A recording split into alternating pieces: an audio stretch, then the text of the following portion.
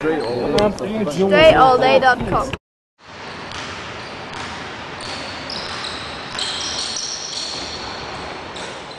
When you go in the post, it's not always about overpowering the guy that's guarding you. Now he's fighting back here as we bump a few times, and I feel him leaning so much on one side. All I do is step around, pivot around, and I got myself a left hand layup. That's it.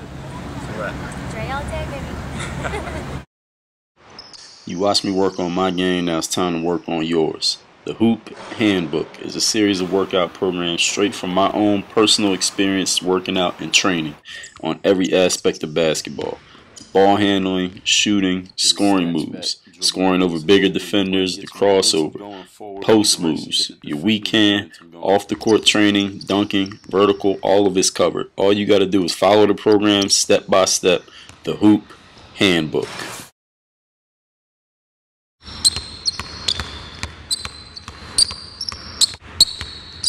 And as he comes back to your right, you just reach the ball right over his head and finish the shot.